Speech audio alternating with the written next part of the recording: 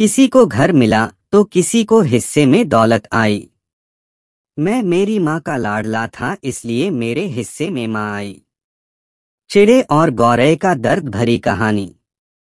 एक लोहे का बड़ा सा बंद दरवाज़ा। लगातार कोशिशों के बाद उन दोनों ने उसकी कील के पास एक छोटा सा रास्ता ढूंढ ही लिया।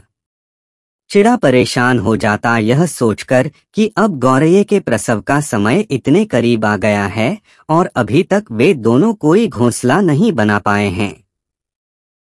आज लोहे के दरवाजे के पास से जब अंदर जा पाए तो ऊपर वाले के सिजदे में उनकी गर्दनें स्वतः ही झुक गईं, जब उन्होंने वहाँ एक छिपा हुआ टोकरा देखा।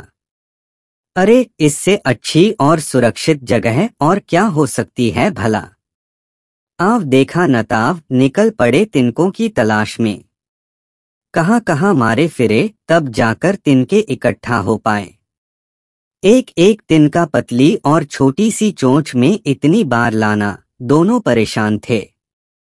आज सातवीं बार सूरज निकला तो उनका काम पूरा हुआ। गौरय ने अंदाज़ा लगाया कि अब दो बार जब सूर्य निकलेगा, तब तक शायद प्रसव पीड़ा का समय आ जाए। उनका अंदाज़ा सही साबित हुआ। वे दो दिन उन दोनों पर बहुत भारी पड़ रहे थे। हमेशा डर बना रहता कि घर का मालिक या कोई और जीव उनके छिपाकर बनाए घोंसले को नष्ट न कर दे। लेकिन ऐसा कुछ नहीं हुआ। नियत समय पर उसने अंडे दिए। अब चिड़ा और गौरैया दोनों की खुशियाँ अपने चरम पर थीं। अब समस्या थी अंडों की सुरक्षा। दोनों ने तय किया कि एक खाने का जब इंतज़ाम करने जाएगा, तब दूसरा पहरे पे रहेगा। हालाँकि दोनों जानते थे कि बड़े जीवों के सामने भला उनका क्या अस्तित्व, लेकिन प्रतिरोध तो कर ही सकते थे। सिलसिले वैसे ही चले, जैसा उन्होंने सोचा था। दस बार सूरज निकलने के बाद जब अंडे फूटे तो उन दोनों की खुशी सातवें आसमान पर थी। चारों अंडों से बच्चे सही सलामत बाहर आ चुके थे। उनके पंख तो अभी खुले नहीं थे, लिहाजा गौरिया जब कहीं दाना पाती, उड़कर आती और एक बच्चे की चोंच में डाल फिर उड़कर दाने की खोज में जाती और फिर दूसरे तीसरे चौथे तक ये सिलसिला चलता। उसके बाद कहीं उसे अपने लिए दाने की फ़िक्र होती। अब गौरैया को इंतज़ार था बच्चों के पर निकलने का। अकस्मात एक दिन उसके पंखों से वहाँ रखा रंग का एक डब्बा उलट गया और उन बच्चों के बदन के कुछ हिस्से रंगीन हो गए। गौरय ने इसे देखा पर कुछ कर पाना उसके वश में तो था ही नहीं। पाँच छह बार सूरज और निकला कि उन बच्चों के पंख निकल आए। उन्हें थोड़ा थोड़ा उड़ना सिखाया गौरय ने। अब बच्चे उड़ सकते थे। अगली सूरज की किरणों के साथ गौरे ने देखा, घोंसला खाली हो चुका था।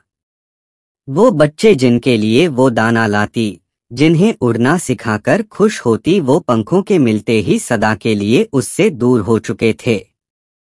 कभी वो प्रसव के पूर्व पलों को याद करती, कभी तिनका तिनका चुन लाए घोंसले के निर्माण को वो एक एक दाना उनके लिए लाने की यादें उसके अंतर्मन को बींध जाती। समय के भी पंख होते हैं।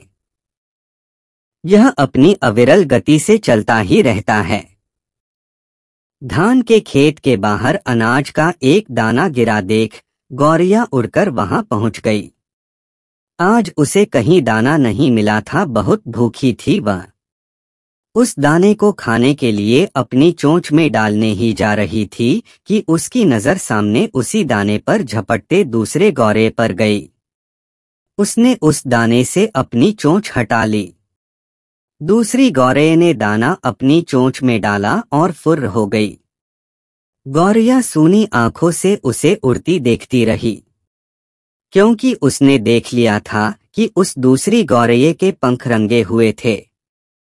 दोस्तों, आपको इस कहानी से क्या सिख मिली कमेंट करके ज़रूर बताइए और ऐसे ही ज्ञानवर्धक कहानियाँ सुनने के लिए हमारे चैनल को सब्सक्राइब करें। मिलते हैं अगले वीडियो में एक नए ज्ञानवर्धक कहानी से साथ।